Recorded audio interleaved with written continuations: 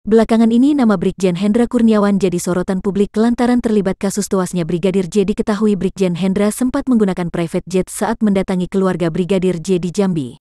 Diduga jet pribadi yang digunakan Brigjen Hendra itu merupakan milik warga sipil yang diduga terkait judi online. Brigjen Hendra Kurniawan merupakan tersangka kasus obstruction of justice kasus kematian Brigadir J atau Nofriansyah Yosua Huta Barat. Diketahui sebelumnya, Indonesia Police Watch, IPW, menyebutkan ada dua orang sipil yang menyediakan private jet tersebut. Mereka adalah seseorang berinisial RBT dan YS. Ex-penasihat Kapolri sekaligus guru besar politik dan keamanan Universitas Pajajaran Prof. Muradi meminta Polri untuk mengusut hal tersebut.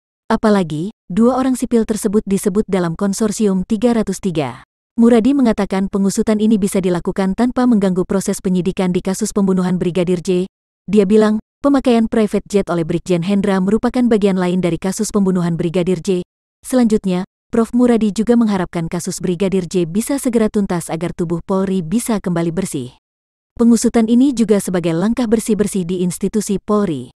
Sementara itu, Kadif Humas Polri Irjen Dedi Prasetyo menyatakan bahwa kasus tersebut merupakan masih bagian materi penyidikan yang dilakukan tim sus Polri.